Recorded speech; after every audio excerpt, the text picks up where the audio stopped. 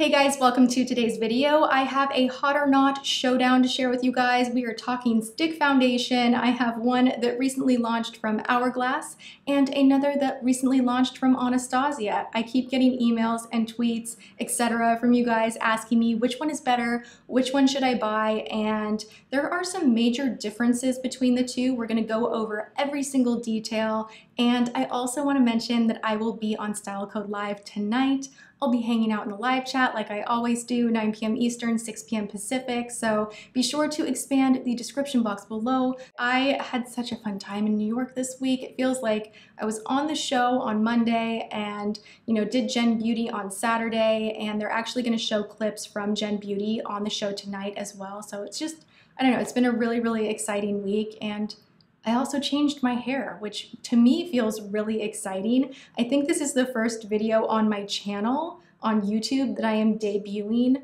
the really dark, much shorter hair. What do you guys think? I kind of love it, but I keep looking in the monitor and catching a glance and I'm like, oh my God, who am I? Who, who is that? It's uh, a little bit of a change for me. So anyway, let's jump into the details.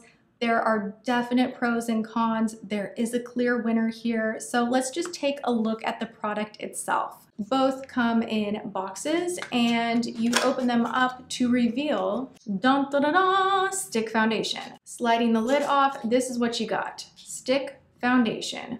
I have to say something that in my opinion is very innovative in the application with the hourglass is the fact that this is a really unique tip. I like that it's triangular. This means that you can actually take the very edge tip you can put a highlight down the bridge of the nose.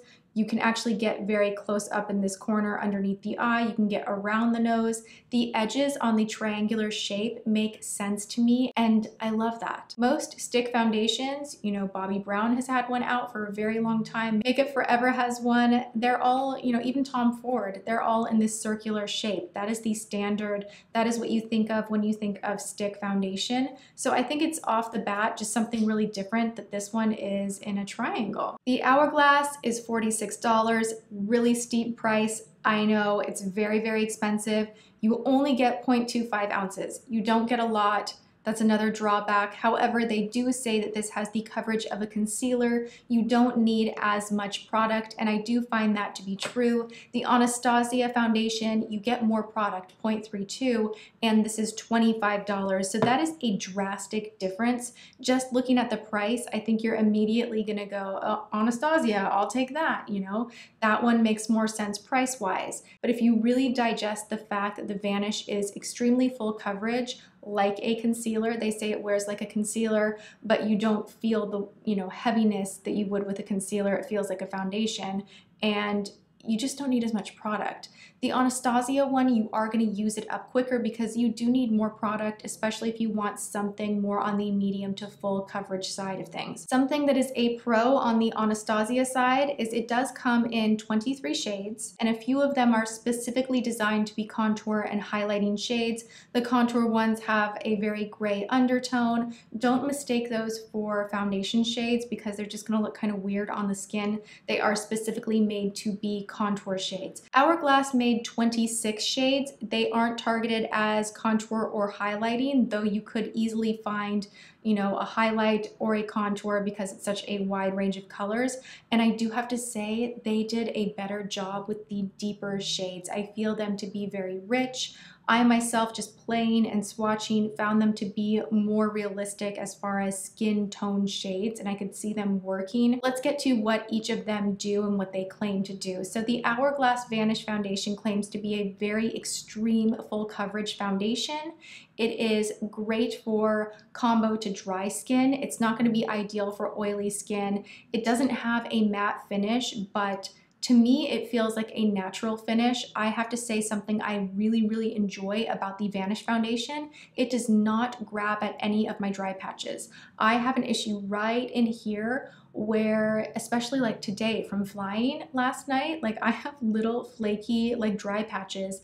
And if I were to put any other foundation on, I would just have to suck it up and be like, okay, well, my skin's just gonna look like this for now. It's not the end of the world, it's fine. For some reason, this foundation does not grab at dry patches. And for me, I'm just like, yes, like that is such a huge deal to me. I'm like, I will pay any amount of money, sign me up. Like, I love that. It does not exaggerate my fine lines. It is super full coverage. I use this as concealer underneath the eyes. I like taking three shades. I know that's crazy, but I will use a deeper shade around the perimeter of my face a really light shade underneath the eye and then a medium tone shade on the middle of my face. And that way I'm creating kind of a contour dimensional look to my skin without contour and highlighting, which ends up looking really, really natural. Three shades that I am using, Warm Beige, Nude, and then I am taking porcelain as well as my like really light highlight down the bridge of the nose,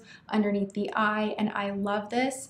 This one also, because it's so blendable and it sinks into the skin so beautifully, you can use this to carve out your eyebrows and it works better than any concealer, I kid you not. For those of you out there that use that technique where you clean up the edges of your eyebrows, if you were to look super, super close up at me, you would not see any caked makeup. You would see just absolutely nothing. It's smooth, but there is a highlight, there is a sharpness there, and that's something that really excites me with this product. You can use it so many different ways. I can definitely contour around the mouth. I can highlight the corners of the mouth. I can use it as concealer, spot concealer, full coverage foundation. It's just an amazing, amazing product. So now that I've like gone off on all of the wonderful things about this particular product, I'm sure you can guess who's winning the battle because this lonely guy over here just did not impress me. I knew it would be a matte finish. I knew this would be more ideal for oily skin, so I did keep that into consideration. But the issue that I have with this is not the finish of it. The finish is fine. It's getting it to the finish that I have a problem with. When you apply this, it is very hard and it is really difficult to blend. It does not want to move whereas this one has so much more slip to it. You can even see it has a little more kind of a moisturizing thing where it just sinks in to the skin straight away. This one sits on top, you get blotchy areas, and if you have any texture on your skin, it's going to pick that up. For more oily skin, those tend to be the people that break out a little bit more. Even if you don't have acne, if you have oily skin, you're gonna have some clogged pores, you might have some issues with congestion, you might have a little texture on the skin and oil at the same time, which creates a lot of like chaos with your makeup. Trust me, I've been there, I understand that. And this one, if you're looking for a full coverage stick foundation that's good for your oily skin, and you want that coverage, I think you're gonna have a hard time blending it because it's gonna pull and then you'll blend back and it'll patch and pull and not sink in the way you want it to. It does say on Sephora.com that the Anastasia Stick Foundation is ideal for all skin types. I feel it's really gonna be best for oily skin types. If you still wanna use this, make sure you don't have super dry skin because it's really gonna exaggerate things that you don't want to exaggerate being that it is a matte stick foundation. So this to me was just an absolute fail. I don't like it. I love Anastasia as a brand. I love the Brow Wiz, the highlight, which I'm wearing today that's just so gorgeous. There are so many products from the Anastasia range that I adore. This one just did not do a good job and I can see it not just doing a good job for me, but I can see it being an issue for a lot of people and that's why I'm giving it a thumbs down review. The Vanish foundation is just like my new favorite thing. Yesterday's video was me trying out the crazy $200 primer and you see in the sped up part of the video that I'm using the Vanish foundation and how quickly it just kind of blends on the skin. If you met me at Gen Beauty, I was wearing the Vanish. I am wearing it again today. I wore it on Style Code Live. Like I cannot get enough of it not sponsored whatsoever. Love this foundation so much. I did try out the brush that they launched with this foundation.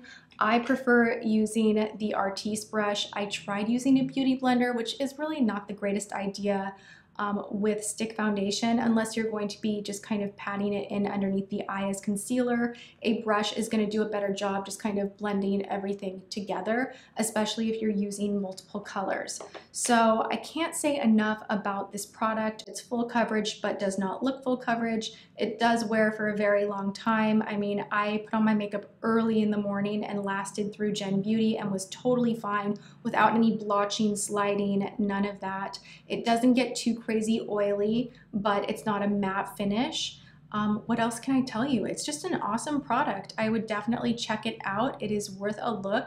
I was nervous to try this because I don't really like stick foundation as much as liquid, but I'm surprised because I do keep reaching for this one over and over and over again. So I'm sure you guys will see me use it a lot because it's a new love that I am so into. And I would just put a little bit of thought into if you want to try the Anastasia one with everything that I mentioned. I just think it's just so tough to blend and that's just such a drawback. So there you have it. I hope that you guys enjoyed this stick foundation showdown. Let me know what other battles should I do? I maybe a drugstore versus luxury or any product that launches where there's like a similar product at the same time, let me know. I'm happy to do this again. And of course, I'm going to remind you, come hang out with me in the live chat at 9 p.m. Eastern, 6 p.m. Pacific for Style Code Live. Um, I just, I enjoy you guys being there with me. So I hope to see you and I hope you enjoyed this video. You can give it a thumbs up if you did. Otherwise, I will see you guys tomorrow. Mwah.